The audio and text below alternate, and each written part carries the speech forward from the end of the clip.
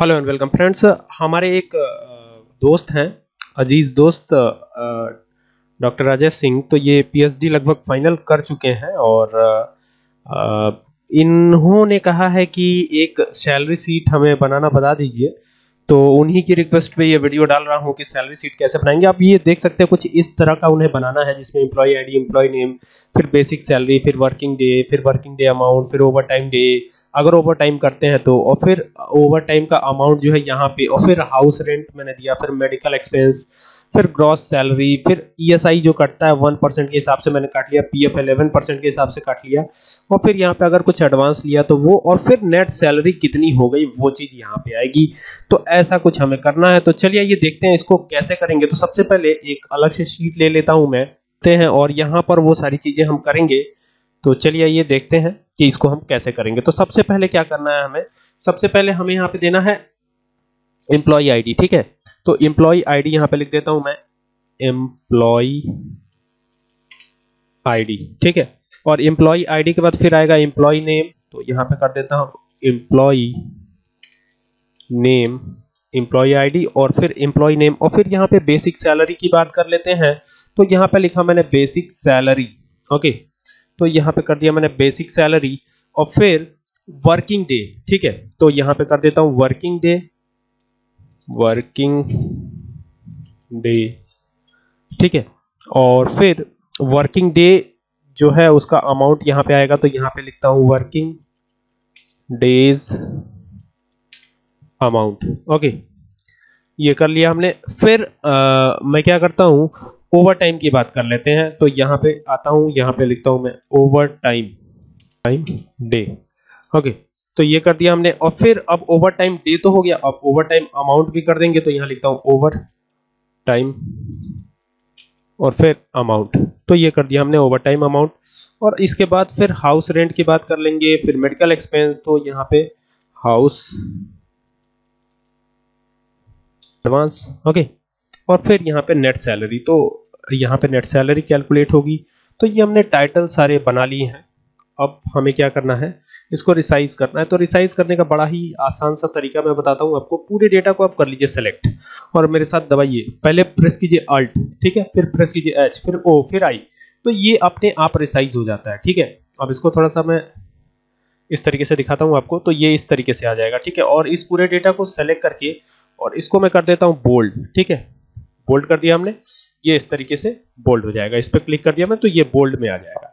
और अब मैं क्या करता हूँ मैं ये भी चाहता हूँ कि आ, आ, नीचे जो है इंप्लॉय आईडी जो मैंने लिया है उसके लिए मैं यहाँ पे जैसे मान लीजिए मैं कर देता हूँ ई आर ज़ीरो वन ये इंप्लॉय आईडी वन है ठीक है? फिर मैं करता हूँ यहाँ पे ई आर ज़ीरो टू तो एक्सेल को हमने बता दिया कि E R zero one two इसी क्रम में ये रहेगा तो एक्सेल बहुत ही समझदार है, ये अपने आप देता चला जाएगा। तो यहाँ पर देख सकते हैं, ये कुछ इस तरह से आ चुका है। अब यहाँ पे एम्प्लॉय का नाम तो कुछ भी दे देते हैं, ऐसे मैं राम श्याम, ऐसे करके मैं लिख देता हूँ एम्प्लॉय का नाम। ठीक है? और यहाँ पे कर देता हूँ, सचिन। ये नाम हमने लिख दिया अब इनकी बेसिक सैलरी की बात कर लेते हैं कि इनकी बेसिक सैलरी कितनी बनेगी। तो यहाँ पे मैं कर देता हूँ बारह हज़ार। यहाँ पे कर देता हूँ तेरह हज़ार। यहाँ बारह हज़ार पाँच सौ। फिर इसी तरह से और भी। अब यहाँ पे वर्किंग डे की बात करते हैं। अब मान लीजिए कि आ, आपका वर्क कुछ ऐसा है जो पूरे तीस दिनों का हो ठीक है? आ, कहीं कहीं आप चाहे तो अलग से संडे को इंक्लूड नहीं करेंगे। जैसे संडे को छुट्टी रहती है तो वर्किंग डेज़ की बात करता हूँ तो मान लीजिए किसी ने 29 डेज़ वर्क किया आउट ऑफ़ 30 किसी ने वर्क किया 23 डेज़ और फिर यहाँ पे अब अमाउंट की बात करेंगे, ठीक है? तो अभी इसको मैं कैसे अमाउंट कैलकुलेट करेंगे वो बता देता हूँ। देखिए, जो बेसिक सैलरी है, उसको वर्किंग डेज़ से आप कर दीजिए मल्टीप्लाई ठीक है? और 30 से डिवाइड कर दीजिए, ठीक है? क्योंकि मैं मान के चल रहा हूँ कि एक महीने में 30 दिन होते हैं ओके तो बेसिक सैलरी तो सबसे पहले इज़ इक्वल टू से फॉर्मूला स्टार्ट होगा एक्सेल में ओके और फिर यहाँ पर हम बेसिक सैलरी को सेलेक्ट कर लेते हैं। पहला वाला सेलेक्ट करेंगे और नीचे ड्रैग करते चले जाएँगे तो एक्सेल इनेबल फिल हैंडल की क्वालिटी कंटेन करता है, रखता है। एक्सेल के पास ऐसी क्वालिटी होती है, इसी के कारण एक्सेल पॉपुलर हुआ था। तो सारी चीज़ें अपने आप होती चली जाएँगी, अगर आप ड्रैग कर देंगे तो। यहाँ पे लगा लिया इनटू और अब इनटू लगाने के बाद हम वर्किंग डे को सेलेक्ट कर लेते हैं। तो पहला वाला वर्किंग डे सेलेक्ट किया और इसे डिवाइड कर देते हैं थर्टी से, क्योंकि हम मान के चल रहे हैं कि एक महीने में तीस दिन होते हैं। चलिए। ये आ गया इस तरीके से। अब ये देख सकते हैं कि ये डेसिमल पॉइंट कुछ इस तरह से आए हुए हैं तो आप यहाँ से जाकर के और इसको जो है सड़सठ पैसे का कोई बहुत महत्व तो है नहीं तो इसे मैं हटा देता हूँ यहाँ से। ये देखिए यहाँ पे जाएँगे तो ये डिक्रीज डेसिमल पॉइंट इसको मैं डिक्रीज ही कर लेता हूँ और ये भी है तो इसको भी यहाँ से डिक्रीज कर लेते हैं नो प्रॉब्लम ओके तो ये हो गया इस तरीके से। अब यहाँ पर ओवर टाइम डे दिया हुआ है ठीक है? तो यहाँ पर ओवर टाइम डे आपको आ, देना होगा। ठीक है? तो ओवर टाइम डे जैसे मान लीजिए कि यहाँ पे मैंने कर दिया तीन दिन, दो दिन दिन के हिसाब से कर रहा हूँ, ठीक है? यहाँ पे एक दिन, यहाँ पे ज़ीरो यहाँ पे एक, ऐसे करके मैं दे देता हूँ, यहाँ पे ज़ीरो ओके तो ये हो गया। अब यहाँ पे दिया हुआ है ओवर टाइम अमाउंट ठीक है? और रेंट ये दोनों एक ही में आ गया है। यहाँ पर मैं क्या करता हूँ, ये हाउस रेंट को यहाँ से हटा देता हूँ ओके और फिर यहाँ पर एक कॉलम इंसर्ट कर लेता हूँ। तो ये हाउस रेंट ये मेडिकल एक्सपेंस और ओवर टाइम अमाउंट के बीच में हमें एक कॉलम चाहिए। तो यहाँ पर मेडिकल वाले पे रखिए, यानी कॉलम नंबर एच पे रखिए और यहाँ इंसर्ट कर दीजिए। तो इन दोनों के बीच में एक कॉलम आ जाएगा और इसको थोड़ा सा रिसाइज भी कर लेता हूँ। ठीक है? और ओवर टाइम अमाउंट की बात करेंगे। ठीक है? तो ओवर टाइम अमाउंट कैसे कैलकुलेट होगा? तो तो ओवर टाइम अमाउंट कैसे कैलकुलेट होगा वो बता देता हूँ। इज़ इक्वल टू का निशान लगा लीजिए। और अब क्या करना है? अब C2 लेना यानी कि ये जो बेसिक सैलरी है ना, ये देखिए इसका जो सेल एड्रेस है वो C2 है। तो ये C2 को हमने सेलेक्ट कर लिया। इनटू का निशान लगाना है बीच में। ओवर टाइम डेज़ यहाँ पे जो लिखा है मैंने, इसको 30 से डिवाइड कर दिया है और मल्टीप्लाई कर दिया ओवर टाइम डेज़ से और एंटर प्रेस करेंगे। तो यहाँ ओवर टाइम का अमाउंट आपका निकल के आ जाएगा। और डबल क्लिक करेंगे तो ये सब आ जाएगा और इसको मैं क्या करता हूँ, यहाँ से डिक्रीज कर लेता हूँ डेसिमल पॉइंट्स को। ठीक है? और ये कर लिया हमने। इसी तरह से इसको भी करेंगे। तो यहाँ से डिक्रीज कर सकते हैं आप। इंक्रीज डिक्रीज जो भी करना है आप कर सकते हैं। इंक्रीज करेंगे तो फिर ये इंक्रीज होता चला जाएगा। दैट्स वाई डिक्रीज ही कर लीजिए। सड़सठ पैसे का कोई बहुत महत्व नहीं है। अब यहाँ पर आ गए हम। ठीक है?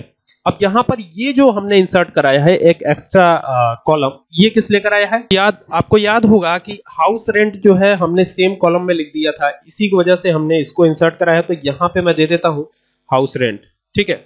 तो हाउस के रेंट की बात करेंगे यहाँ पे तो लिख दिया हाउस रेंट और हाउस रेंट जो है यहाँ पे आ, किस हिसाब से करना है वो देख लीजिए किनको किनको हाउस रेंट मिलेगा ठीक है?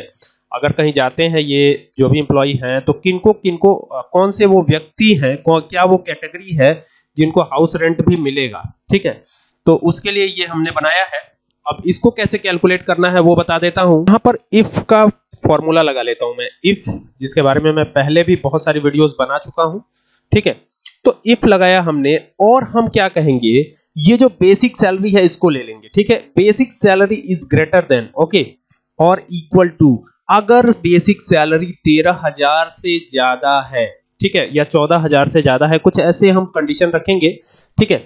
तो इस तरह की कंडीशन दे देंगे, जैसे मान लीजिए मैं यहाँ कर देता हूँ अठारह हज़ार, ठीक है? या तेरह हज़ार से ज़्यादा है। ठीक है? या चौदह हज़ार से ज़्यादा है। कुछ ऐसे हम कंडीशन रखेंगे। ठीक है? तो इस तरह की कंडीशन दे देंगे। जैसे मान लीजिए मैं यहाँ कर देता हूँ अठारह हज़ार। ठीक है? या सत्रह हज़ार कर देते हैं। तो ये कंडीशन में कॉमा दे देंगे। और यहाँ पर बारह सौ रुपए अगर आप कहीं जाते हैं तो आपको मिलेगा ठहरने के लिए। ठीक है? इतने रुपए आपको कंपनी देगी ठहरने के लिए, किसी होटल में या किसी किसी ऐसे जगह जाते हैं तो यहाँ ठहरने के लिए। ठीक है? ये हमने कर दिया। और अदरवाइज़ में यहाँ पे मैं कर देता हूँ ज़ीरो ठीक है? अन्य लोगों को कोई चीज़ नहीं मिलेगा। अगर आप और भी देना चाहते हैं तो इसमें कंडीशन के हिसाब से दे सकते हैं। जैसे मान लीजिए, अगर आप चाहते हैं तो ये एक दे दिया हमने। ठीक है? दूसरी कंडीशन क्या होगी? यहाँ पे इफ़ फिर से लगाता हूँ, और फिर इसी को ले लेता हूँ बेसिक सैलरी को ही। तो ये बेसिक सैलरी ले ली ठीक है इज़ ग्रेटर देन और इक्वल टू फिर से मैंने किया। और यहाँ पर क्या दे देता हूँ कि अगर बेसिक सैलरी बड़ी हो या बराबर हो ठीक है पंद्रह हज़ार के तो यहाँ पे आ, मैं कर देता हूँ कॉमा और यहाँ पे दे देता हूँ आठ सौ रुपए। तो ठहरने के लिए आपको आठ सौ रुपए का आपको कंपनी देती है ठीक है और अदरवाइज़ में मैं ज़ीरो कर देता हूँ, और भी कंडीशन अगर आप देना चाहें तो दे सकते हैं नो प्रॉब्लम ओके अब एंटर प्रेस करता हूँ तो यहाँ पर देख सकते हैं, ग्यारह हज़ार छह सौ के ऊपर और बारह हज़ार के ऊपर कोई भी इनको हाउस रेंट नहीं मिलेगा, और एंटर पे यहाँ पे डबल क्लिक कर दूँगा तो यहाँ पे देख सकते हैं इनको 800 मिलेगा, इनको 1200 मिलेगा। तो इस तरीके से ये हमने कैलकुलेट कर लिया।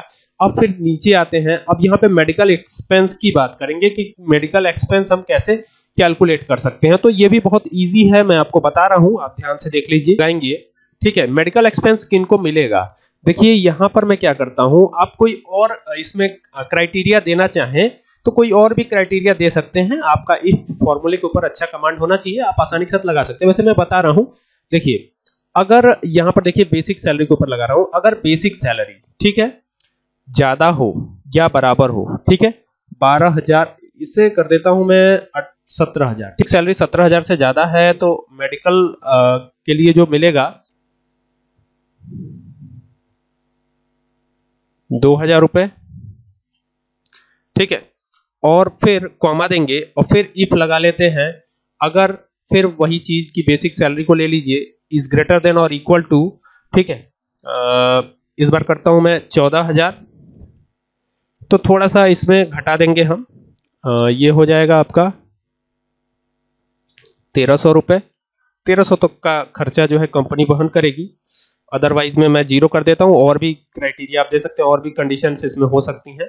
मैं यहाँ पे डायरेक्टली ज़ीरो कर देता हूँ क्योंकि लास्ट में इफ़ में दो कंडीशन होती हैं। ठीक है तो एक कंडीशन हम लगा चुके हैं ऑलरेडी और यहाँ पे ज़ीरो करके इसको क्लोज करके और एंटर प्रेस कर देंगे। तो यहाँ पे देख सकते हैं, यहाँ पे ज़ीरो आ गया है मेडिकल एक्सपेंस ठीक है, और यहाँ पे इस तरीके से आया हुआ है। तो ये आप देख सकते हैं कि ऐसे हम कर सकते हैं बहुत ही आसानी के साथ। अब यहाँ पर ई e और पी एफ़ में देख सकते हैं दोनों एक ही कॉलम में आ गया। तो ये मैं क्या करता हूँ, यहाँ से इसे कट कर लेता हूँ और फिर यहाँ पे राइट क्लिक करके और यहाँ से इंसर्ट करा लेता हूँ एक और कॉलम और ये जो पीएफ है, इसको यहाँ पे रख लेता हूँ। ये हो गया, अब ईएसआई वन परसेंट है। वन परसेंट कैसे कैलकुलेट करेंगे? तो यहाँ पे इज़ इक्वल टू का निशान लगाएँगे। तो ईएसआई वर्किंग डे पे कैलकुलेट होता है। तो वर्किंग डे अमाउंट जो है आ, उसे हम ले लेंगे। तो ये हमने सेलेक्ट किया। इज़ इक्वल टू लगाने के बाद सेलेक्ट करेंगे। तो इज़ इक्वल टू लगाया और फिर वर्किंग डे अमाउंट को सेलेक्ट किया और इनटू मान लीजिए ईएसआई वन परसेंट लगा रहा हूँ। आपको जो जैसी जैसी जैसा आपको देना हो वैसा दे सकते हैं। तो ये ईएसआई आ गया ठीक है? और यहाँ पे डबल क्लिक करेंगे तो इस तरह से आ जाएगा और ये डेसिमल पॉइंट डिक्रीज कर ले यहाँ से जाके। ये सब हट जाएगा निन्यानवे रुपए। और ये सौ हो गया। चलिए कोई दिक्कत नहीं। और यहाँ से इसको भी और फिर इसको भी ये चीज़ें डिक्रीज कर लेंगे। ये पॉइंट वाली वैल्यूज़ का कोई बहुत ज़्यादा औचित्य नहीं है। ये हमने कर लिया इस तरीके से। और फिर अब पीएफ की बात करेंगे तो पीएफ 11 परसेंट है। तो पीएफ कैसे कैलकुलेट करेंगे वो बता देता हूँ। जो आपका पीएफ है, वो भी वर्किंग डे पर ही कैलकुलेट होगा। तो वर्किंग डेज़ अमाउंट जो है, इसको सेलेक्ट कीजिए। इनटू 11 परसेंट का शाइन लगा दीजिए और एंटर प्रेस कर दीजिए। ये आपका आ गया पीएफ तो ये पीएफ हो गया और डबल क्लिक करूँगा। एक चीज़ छूट रही है, पहले इसको सही कर लूँ, इसको डिक्रीज कर लेता हूँ तरीके से। तो एक चीज़ हमारी और छूट रही है ग्रॉस सैलरी जो है, उसके लिए हमने कोई कॉलम अभी बनाया नहीं है। तो मेडिकल एक्सपेंस के बाद हमें ग्रॉस सैलरी भी देनी है।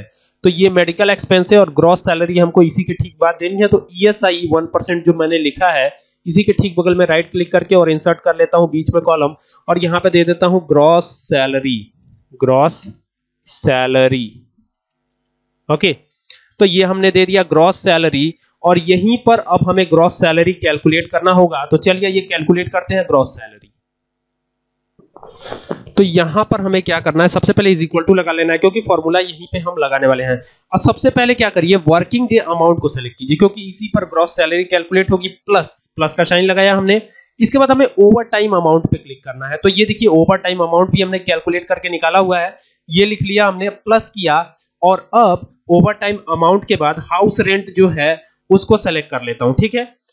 ज़ीरो हो चाहे जो भी हो, आप उसको सेलेक्ट कर लीजिए। इसके बाद मेडिकल एक्सपेंस की बात करेंगे तो मेडिकल एक्सपेंस भी हमने सेलेक्ट कर लिया और अब एंटर प्रेस कीजिए ये ग्रॉस सैलरी बन गई, ठीक है? अब डबल क्लिक करूँगा, ये सब आ जाएगा और वही चीज़ की फिर डेसिमल पॉइंट ये हटा लेता हूँ।